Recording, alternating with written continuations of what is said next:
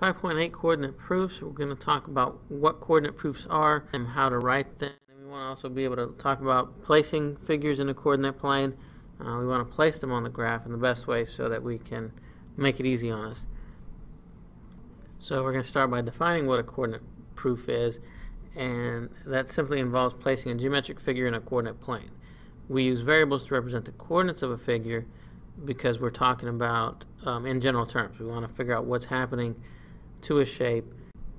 So let's get started. Alright, example number one is just going to talk about, kind of start us off into a coordinate proof and talking about the best way, best way to put this into a graph so that we can talk about it and find the different side lengths. Alright, so um, the first shape they give us is a rectangle. So what we want to do is we want to draw a coordinate plane. Okay. Have our x and our y axis. Now I'm looking at a rectangle. Um, for any of these shapes, kind of the, what we want, the best way to start is to start at the origin. Make that one of your, your vertices. So this is 0, 0. Okay. Then, um, because you're talking about a rectangle, a rectangle has a length and a width. Right? And so we're talking in general terms, so we're just going to assign a value to the length. I'm going to call that length h units, whatever that number might come out to be. And then I have a width, and I'm just calling, going to use the variable k.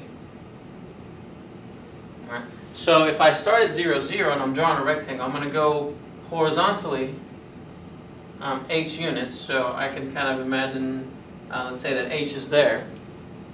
So I'm going to make this h0 and that represents my my length. And then to get my width, I'm going to go up on the y-axis, k units. So let's just put a dot here, and let's say that that's where it's at. Um, the coordinates to this, since I'm at 0, and I go up k units, it's going to be 0k. Okay? And then if I look at where 0k and h0, if I go horizontally and vertically, I want to see where they intersect. They're going to roughly intersect there. So this coordinate here would be h units right, or yeah, h units right and up k units. So this would be hk. Okay, and so that would be my rectangle talking in general terms using 0, 0 as one of the vertices. Alright, next um, example, same thing with example one, um, except we're looking at a scalene triangle. So, um, same thing, we'll start off with uh, drawing a coordinate plane. Okay, and like before with the rectangle, same idea. I want to start with 0, 0 if, if possible. So, since they didn't give us any restrictions on it, I'm going to go ahead and make that 0, 0 as one of the vertices. And then if I put this on here, I'm going to have some other point, and it's be a good idea to make it easy again if I put the other point on the x-axis. So I'm going to have a point here, um, and it's going to be some distance. I don't know what it is. Um, we'll just call it d0. Good. Now, um, the key thing with scalene is that all the side lengths are different. So I want to just pick a point up here somewhere so that I know that all my distances are going to be different. Um, and so I'm going to go over to the right some distance, we'll just call that distance f, and I'm going to go up some distance, and we call that, we'll call that g, right, just to give it a value. And so here would be my scalene triangle. Okay, with one of the vertices being 0, 0. All right, um, example two, we're starting with, um, we want to write a plan to prove that ray SO bisects angle PSR. And so we're given the coordinates of the vertices for triangle POS and the vertices for triangle ROS. And we've got to show that it, S, ray SO bisects angle PSR. Um, to do that, I have to show that the triangles are congruent. Um, so here's my plan.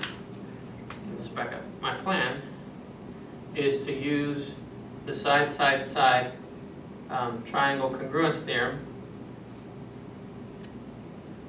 to show that triangle POS is congruent to triangle ROS.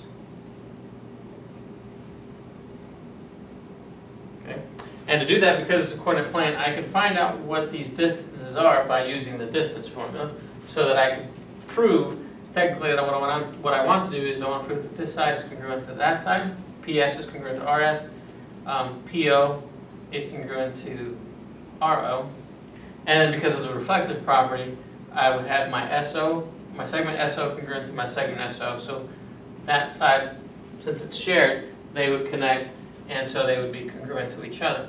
So we just kind of want to write that down and explain it. Um, so I'm going to use that, use the distance formula.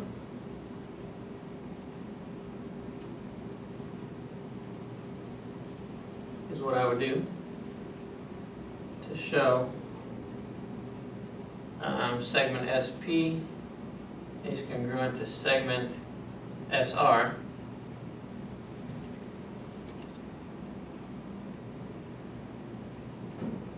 And then we would show segment PO is congruent to segment RO. Again, using the distance formula, it is horizontal, so we could technically just count that out, but it's still, I'm using the distance formula. Um, then we would say segment SO is congruent to segment SO by a reflexive property.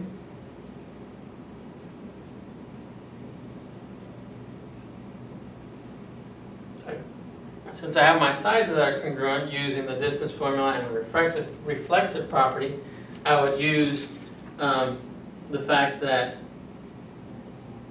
corresponding parts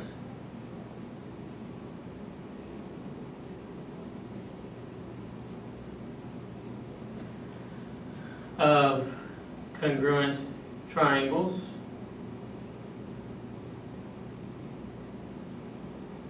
are congruent to show that angle PSO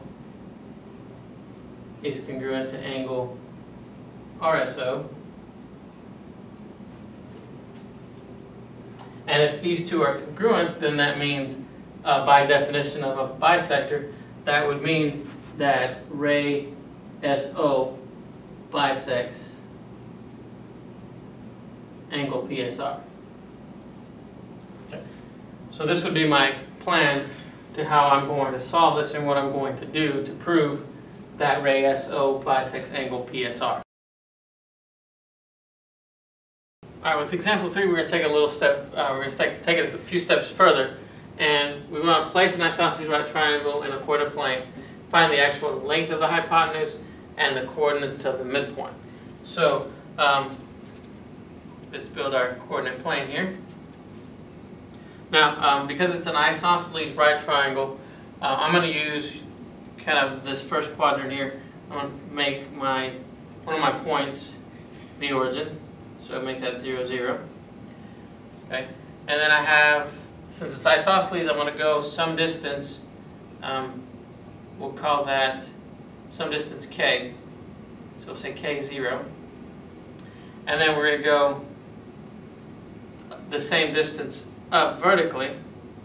So this would be then 0k, because we went the same units over as we did up. And then I'm going to go across this way. Right, and let's just give it a name. We'll call this um, P. This one can be Q, and this will be point R. All right, so we want the length of the hypotenuse. So it's basically it's asking us for um, the length or the distance between P and R. So using the distance formula, I'm going to have k minus 0 squared plus 0 minus k squared. Okay, so both of these are going to be the square root of 2k squared, which would simplify out to be k square root of 2. Okay. So that's my length, that's the first part of it. PR is equal to k square roots of 2. Okay. Now I want to find the midpoint, so M has to be there so that this side is congruent to that side. So we're going to use the midpoint formula for M, and so we're going to have um, 0 plus k divided by 2, and then 0 plus k divided by 2. So that's just going to come out to be k over 2 for the x coordinate, and k over 2 for the y coordinate. So my midpoint, again, is k over 2, k over 2.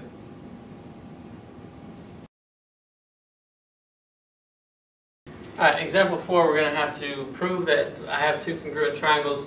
Um, triangle OTU is congruent to triangle UVO. Um, and I went ahead and I gave you a graph for it. Um, first thing I notice when I'm looking at this is that I have two horizontal lines here. And so it's easy to find that length. Um, for OV, the length of OV, I notice that I'm at 0, 0, and then I go h units to the right because my y values are both 0. So I'm going horizontally.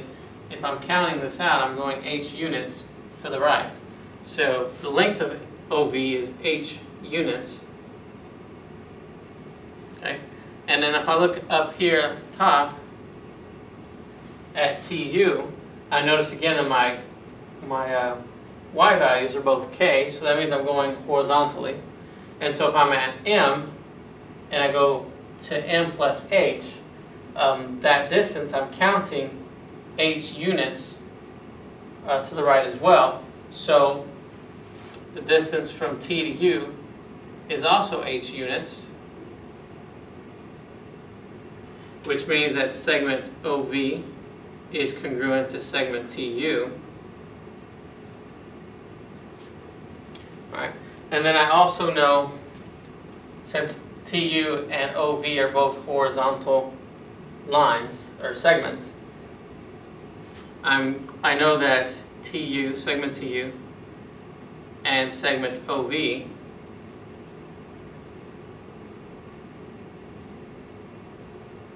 I know those two are parallel because they have the same slope, which is 0.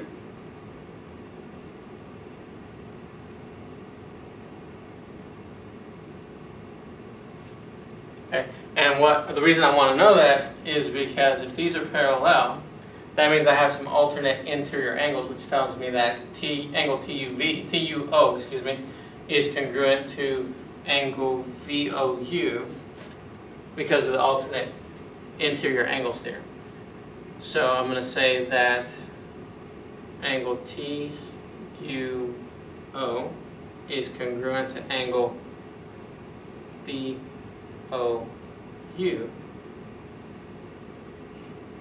by the alternate interior angles theorem.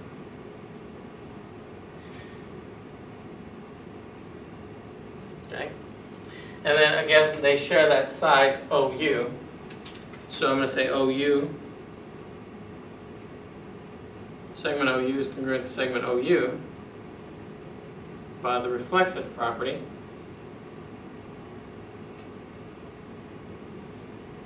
Okay, so I'm going to kind of highlight what I have. I have a segment, I have that, a segment, course, a pair of corresponding segments that are, or sides that are congruent.